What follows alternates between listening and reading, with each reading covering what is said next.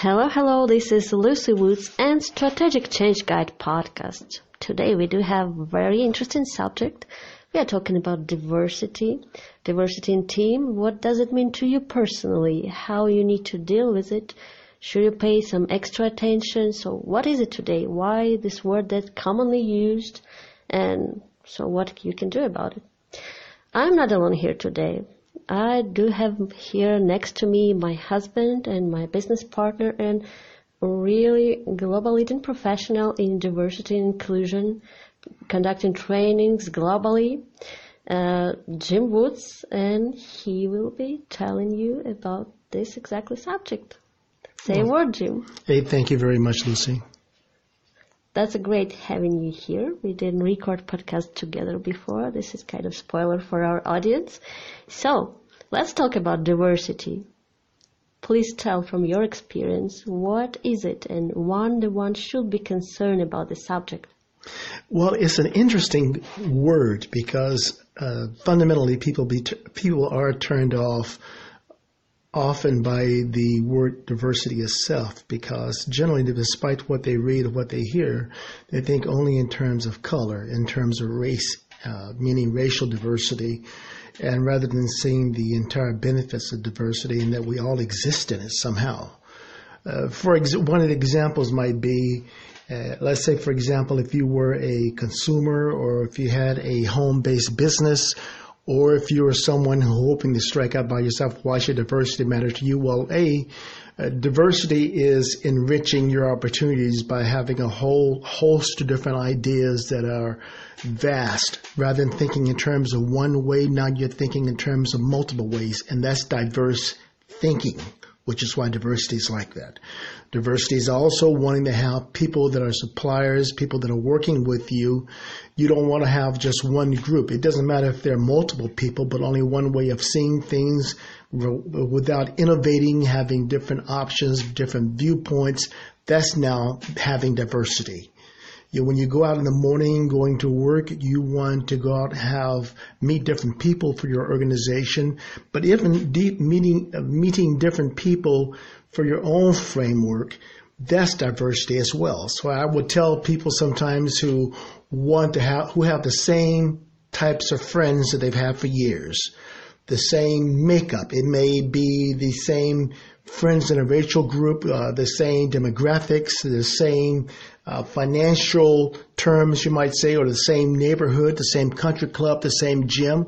No, branch out and do something entirely different because now that diversity in thinking, that diversity in people and all is going to help you see, have ideas that will be uh, considerably different than what your competitor may see it now.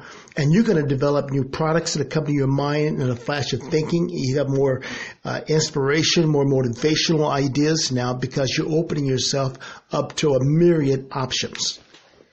This is great. And being different is really great. Trying different things, meeting different people, trying different perspectives to things, and even trying to understand your day and your routine from different angles different point views, it's a cool thing. It's kind of cool exercise that you can do daily, uh, just to find other ways. And sometimes looking for other ways and uh, looking at things differently, it gives you something that helps you succeed later to help you build better strategy for your career, for your business.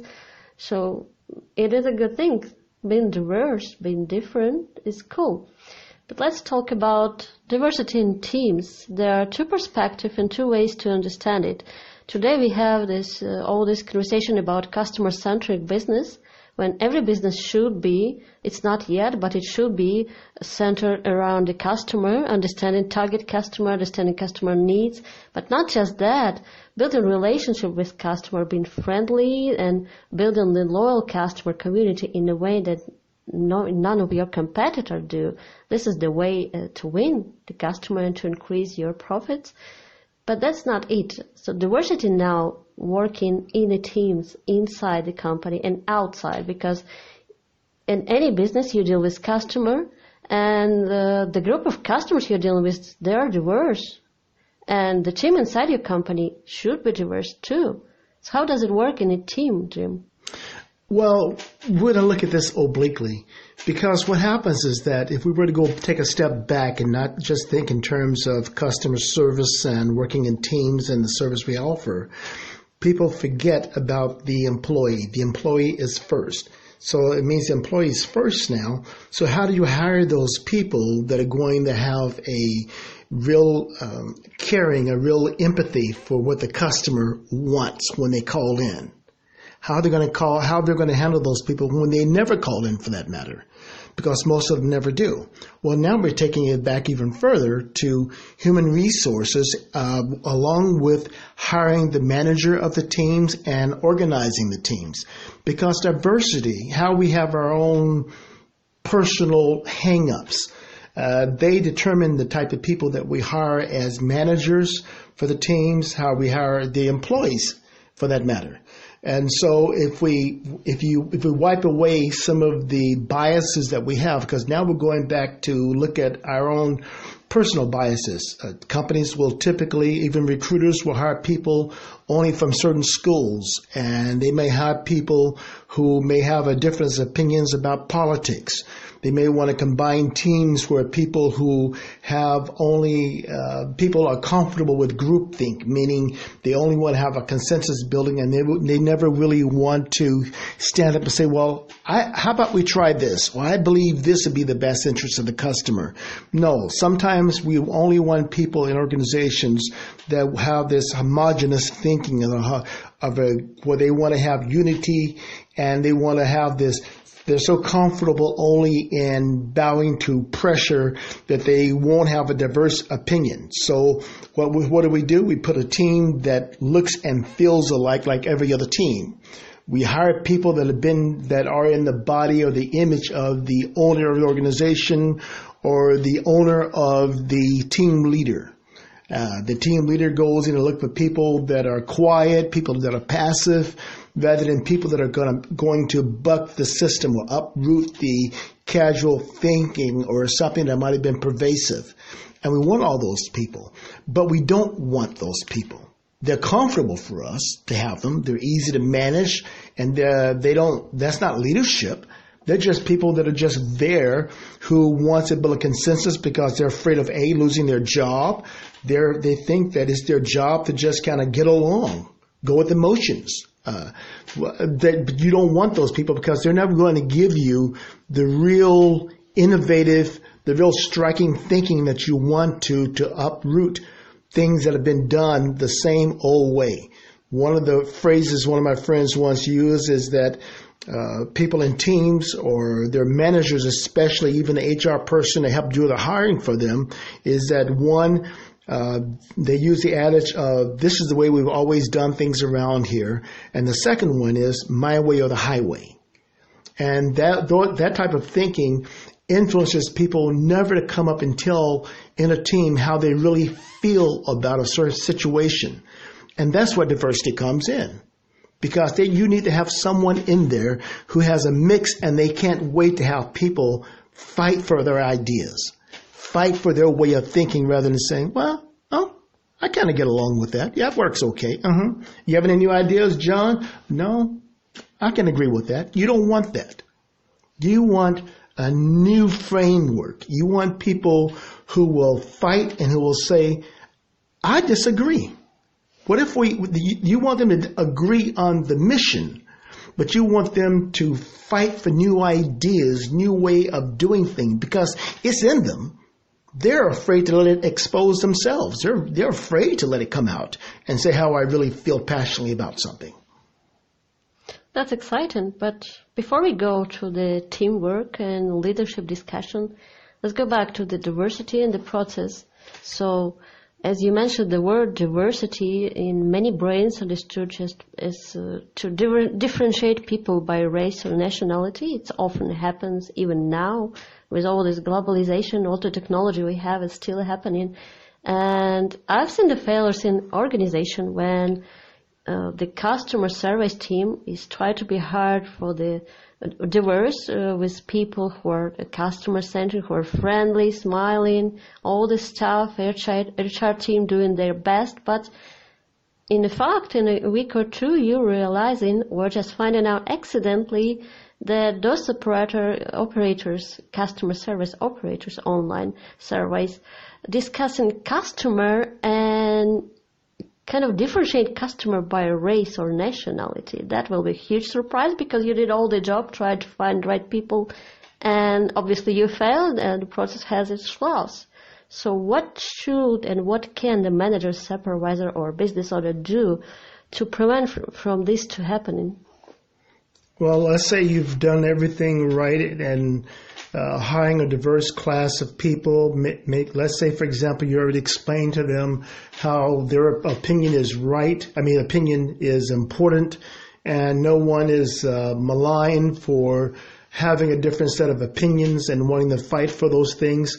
Let's say all that is running perfectly. Well, now uh, I've seen, I've worked with a host of uh, customer service organizations. I've seen and heard managers berate uh, customers uh, uh, to the employees. Yes, that was a stupid question the customer asked. Why did they bother to call in? Why they why couldn't they go to the uh, how-to page or the frequently asked questions page and figure this out for themselves? Uh, employees take that back during their lunch break, and it becomes something that's imbued in their uh, becomes inherent in their their thinking because they've seen that okay, the customers now are calling just to harass us when they can solve the problem themselves rather than stepping back saying, well, by the time a customer calls us, they must really be incensed. They must be upset. I'm sure the customer's already gone, like many of us have, to this page and try to figure out how to do it. And, the, and what's easy for one person is going to be difficult for another person. It doesn't mean the customer is just trying to waste their time by calling. Just imagine how much time it takes up for them to call to begin with and to stay on hold out of their busy day. So now put yourself in the customer's um, and the customer's position and say, wait a minute. Now, how can I make this easier on that customer? Because this is not going to represent just one person calling in. That's a host of other people that may have the same problem whom we never hear from. So now how can we make it easier on them to get their job so they want to come back and do business with us? And one of the ways to do that is to listen uh, empathetically, emphatically. So treating the customer as if you're in their position and what you want to have learned and how you want them to be valued and appreciated. I had an issue with my credit card once, uh, and it's kind of interesting. I called countless times about getting the issue done. After a number of weeks of the credit card, now getting the new card sent to us, one that was lost and promises made. You, I assure you, Mr. Woods, this is going to be done. I am the one that's going to step up and take care of it. Nothing was resolved. They sent me the manager. They sent me the cut, sent me to the customer service reps, and no one got anything accomplished until one day I sent an email from LinkedIn to a president or vice president of the organization. Then they got me to the right person because now I had to elevate my concern and now I reached someone who wasn't even a manager. They sent me someone that was going to take care of this situation. They said, Mr. Woods, you should never have to deal with this. Now they put themselves in my situation. We apologize for the inconvenience, but I assure you right now, you have the right person, and I'm going to take care of this in this one phone call. Now that impressed me. And you know what? Despite everybody else telling me that, this one person did it, and it was like manna from heaven. When they did that for me, I was enthralled. And you think, guess what I did? I couldn't wait for everybody on on Twitter, LinkedIn, Facebook, everywhere to know what this one person did for me. That's what you want. I've seen the same. I had same situation when one person in a team, and not necessarily it will be supervisor or the boss or the team lead or something. Sometimes it's just one operator, the one person who cares that able to solve the problem or just able to address that issue to supervisor to make that problem disappear. So it does happen, and here we come to the term uh, leading by example. Mm-hmm. And surprisingly, today it's not just about finding the right manager. It is more about managing your team in a way when every person will be heard. So how how it works now, it's quite new. After we had all those vertical management systems and all this hierarchy and all this corporate stuff, we do have more friendly environment in office usually with modern organizations. So, so how does it work? Leading by example and make the team work in a way when everyone could be heard and anyone could lead others by example. Well, we have what we call the flavor of the month or the flavor of the week in organizations. We have an HR and this, uh, we have them throughout the organization where there's a new buzzword for everything. IBM had a wonderful video series that you can find in Google called Buzzword Bingo. And the buzzword bingo is they take all these fancy words, benchmarking or uh, you just name it that we've all heard before, and they're just words that are somehow attributed to a new theory, a new fad, and that everybody's using. They're going to do all this now. Is and what they've done is they overcomplicated business. I mean, yes, business is more complicated in some respects because everything moves at the speed of thought now. But business isn't as complicated because we have more management meetings, seminars, books, MBAs, all these things than ever in history. And yet, fundamentally, we have the same problems every single day. And they don't seem to get handled any better. And what people can do right now is get away with all the fads and all the theories that everybody keep coming up with every day trying to make them work and just get back to something really simple. Listening to people, anticipating the outcomes, making people feel important, uh, leading them as opposed to managing them, but not thinking that you have to be in, be part of every situation that comes up because you hired people who you felt were going to be responsible, be accountable, and people who were going to be innovative in their thinking and all. Trust these people to make the right decisions, hire them for their attitude, teach them the right skills, hold them accountable, don't berate them, and speak to them and listen to them. And you'd be amazed at what they will come up with. That's amazing. And it's all about diversity. So today we are talking about diversity and what it means to you. So to you personally, try different things, different perspectives, and different way to do and to understand things. And for the business you are working in or you are managing or trying to build, just remember that your customers are diverse. They are all different and nowadays when we're working, working online with all these countries and all these people, it is very important to remember about diversity. And when it comes to your team, it is diverse too, and it's there are ways to manage it correctly, and we will talk about it more in other episodes.